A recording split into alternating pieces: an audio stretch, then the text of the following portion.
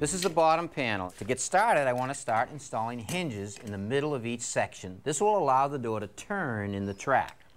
On the end of the door, a hinge goes at each section, and then we drop this roller into that to keep the door in the track. On the bottom is a bracket that we attach the cable to that goes up to the spring to help lift the door up and down. We also insert another roller in that to keep the bottom of the door in the track. Now the weather stripping fits right on the bottom of the door like this. We just tilt it right into place. It'll follow the contour of that rabbet. Tap it up. To fasten it to the door, we take our bracket and lay it on top of the weather stripping. Then I'll screw through the bracket, through the weather stripping, into the door. I'm going to use these coarse thread lag screws. You're not screwing into the foam, are you? No, there's actually a piece of wood that runs right up the end of the door that gives it some structure to screw into.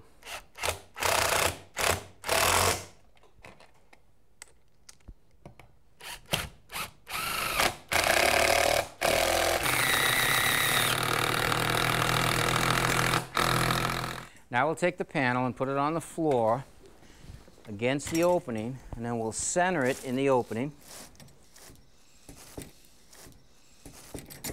Okay, right about there.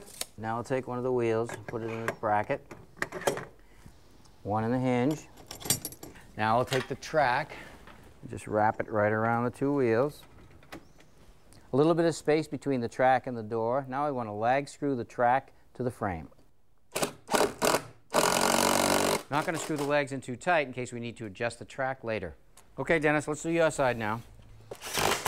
In the center of the door, I'm actually using a different lag screw. It's a machine thread.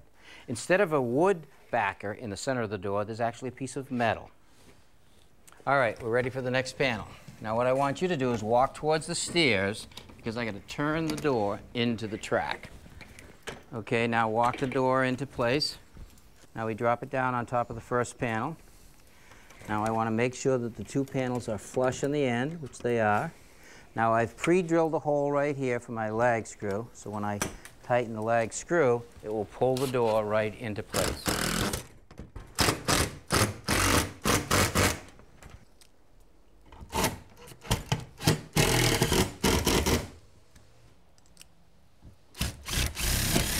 Now on this end of the door, I didn't put the hinge or the roller on. The reason for that is we wouldn't be able to get the door into the opening. So now we can just roll it into the track and position it and screw it off. Now I want to make the track parallel with the edge of the door. And to do that, I'm going to eyeball it so the space is equal. Tighten up my lag screw.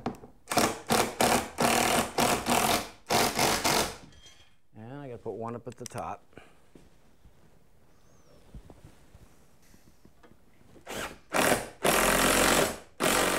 With this nut loose right here, I can slide the track in or out. So I push it in a little bit and I pull it out just a hair.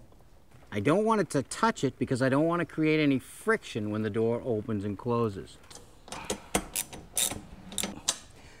Move up to the next one. Pull the door out a little so I have a little bit of a space. Tighten it up. And do the top. Now we're going to make the transition between the vertical track and the horizontal track. And to do that, we're simply going to screw it in place. Okay. Okay, you got it there?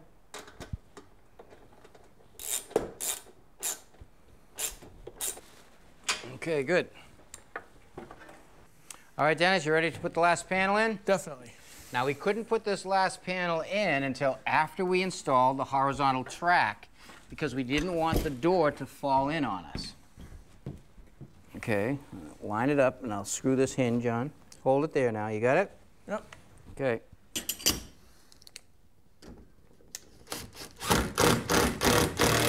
Okay, now I'm going to put the top wheel on, slide it into the track, bring it down so it just has a little bit of tension on it. Bring it up a hair. Screw it in place.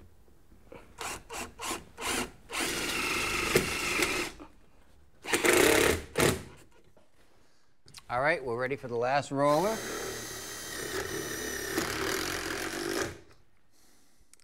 Now we're ready to install the spring. So install it up there on that hook, Dennis. The spring is actually the muscle that actually helps pick the door up. Now before we can attach the springs, we have to physically pick the door up. Are you ready? Ready. On three. One, two, three. Up. Okay, now to keep the door from coming down, I'm going to take my vice grips, lock it to the track. Okay, let it down easy. Beautiful. All right, with our door up, we now have access to the bottom panel, and that's the bracket on the bottom corner where we will attach the cable. Now the cable gets attached to that bottom bracket, goes up over the pulley. Okay.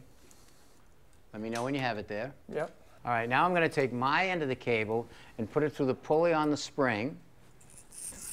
Tighten it up a little bit. And then I'm going to take the end of the cable now and put it through this little bracket. Go through it this way, down through this way. Take a little bit of slack up. Put it through that loop. Okay, now I'll take an S hook, hook it on the bracket. Now we install the S hook to the track. Great. With the door closed, there's an awful lot of tension on this spring. And if the cable or the spring should break, it could fly away. And to keep it from flying away and getting anybody hurt, you have to put a safety cable through the center of the spring and attach it to the bracket.